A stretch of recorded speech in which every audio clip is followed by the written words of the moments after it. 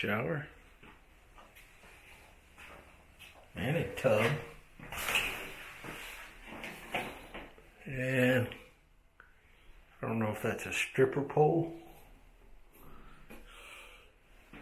Not a good spot for it, but